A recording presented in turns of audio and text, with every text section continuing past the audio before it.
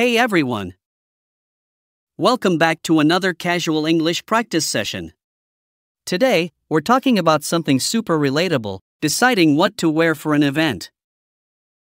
In this chat, we have Mike, a laid back guy who's all about going with the flow, and Jake, who tends to overthink his outfit choices.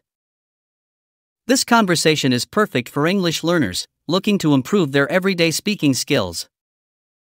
We'll explore how they decide on outfits and handle wardrobe indecision. Don't forget to share your own experiences in the comments below. So, Jake, when it comes to deciding what to wear for an event, how long do you usually spend picking out an outfit? Is it something you start thinking about days in advance? Oh man, it totally depends on the event. For something big, like a wedding or a fancy party, I'll start planning days in advance. I don't want to get it wrong, you know. I can spend hours browsing through my wardrobe trying to figure out what fits the vibe. For casual stuff, though, I usually just throw something on, but I still want it to look decent. That makes sense. I usually go with my gut feeling and pick something that feels comfortable. Do you ever overthink whether it's appropriate for the event? Absolutely. I get stuck in my head about it. Like, I want to look sharp but not overdressed. Sometimes I think about what others might be wearing and it drives me crazy.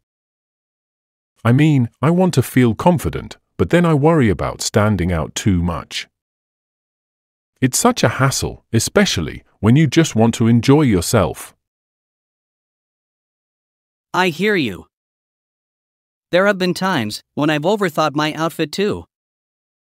Do you ever try on multiple outfits before settling on one? Oh, for sure. I'll try on like three or four different looks and I end up feeling even more confused. I'll stand in front of the mirror, asking myself if this looks good or if I should switch it up. It's like a mini fashion show in my room, and sometimes I even take selfies to see how it looks from different angles. It can be exhausting, but kind of fun. Haha, that sounds like a scene. Do you ever get advice from friends or family, or do you prefer to make the decision alone? I definitely ask for input. I mean, it's great to get a second opinion, especially from someone who knows me well. But sometimes I feel like I'm bugging them too much. I might show them two or three options, and then I still end up going with what I initially wanted. I think it's because deep down I know what works for me, but hearing someone else's thoughts helps ease my mind. Yeah, I can relate. I sometimes check in with my sister or my girlfriend, but I'll often wear what I feel comfortable in. But once I've left the house, I occasionally second guess myself. Totally. I've changed my mind right after stepping out. I'll look down and think, why did I pick this? It's like my brain has a meltdown. But I've learned to take a deep breath and remind myself that most people are probably too focused on their own outfits to notice mine. That helps a bit. That's the worst. Do you ever worry about how you'll look in photos from the event? Oh man, yes. I always think about how my outfit will come across in pictures.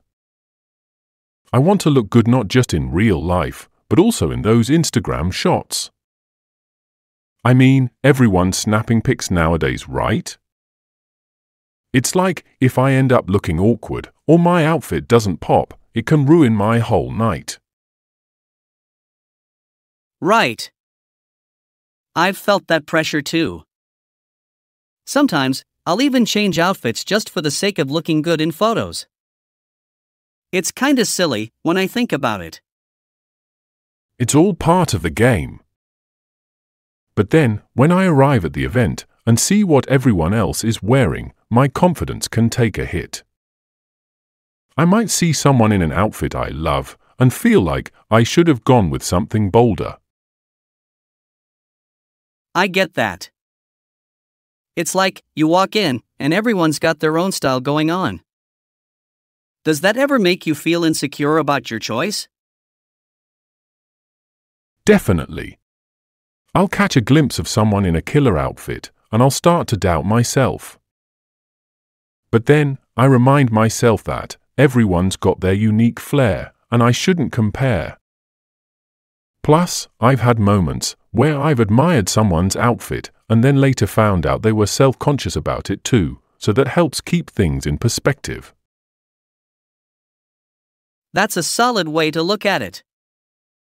Once you settle into the event, do you usually feel comfortable and glad you stuck with your choice? Yeah, once I'm mingling and having a good time, I forget about my outfit. I'm usually just glad I didn't get too crazy with my look. It's all about enjoying the moment. Plus, when people compliment my outfit, it boosts my confidence even more. Exactly. And honestly, I think, if you feel good in what you're wearing, it shows. Have you ever had a wardrobe malfunction, though? Oh gosh, yes.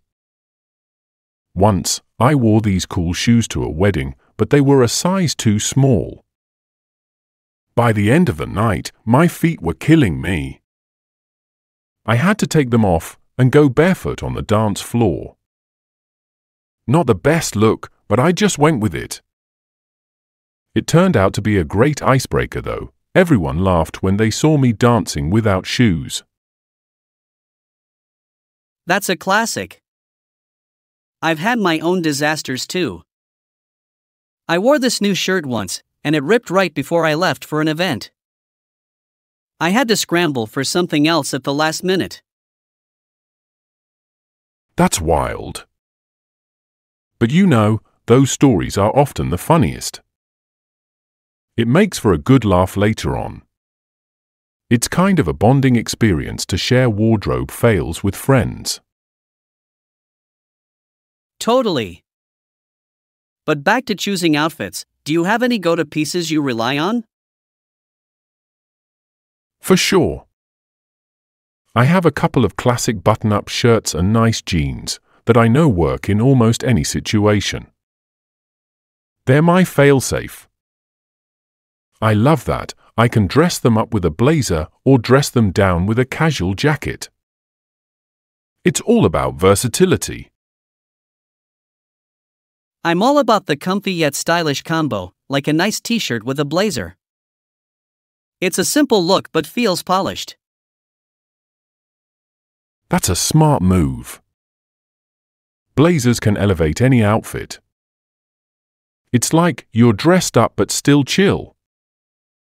Plus, you can throw in some fun accessories to really make it pop.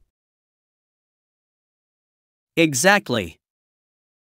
And I can switch it up with different shoes or accessories. Keeps it fresh. Speaking of accessories, how much thought do you put into those? I'd say it depends on the event. For something casual, I might just throw on a watch or a simple bracelet. But for a formal event, I'll go all out nice cufflinks, maybe even a pocket square. That's slick. I usually skip the accessories unless it's a big deal. But I've been trying to step up my game a bit. I think a cool belt or some unique socks can really add flair without going overboard. It's worth it. Accessories can really tie an outfit together. Plus, it shows you care about your look. For sure. So, what advice would you give someone who struggles with outfit choices? I'd say go with what makes you feel good. Try on a few things, but don't overthink it. You don't want to stress out and miss out on enjoying the event. That's solid advice. I'd add to just own your style. Whether it's simple or extravagant, wear it with confidence. People will notice that more than the outfit itself. Plus, it can be helpful to try on outfits in natural light. It makes a huge difference in how colors and styles come across. Absolutely. And if all else fails, just bring a backup outfit. You never know when you might need it. A wardrobe savior. It's always good to have a plan B, just in case. Well, I think we've covered a lot about outfit decisions today. I hope our viewers found it helpful. Yeah, for sure. And I hope they share their own outfit struggles in the comments. It's always fun to see how others approach these dilemmas. Thanks for sharing your insights, Jake. It's been awesome chatting about how to tackle wardrobe decisions for events.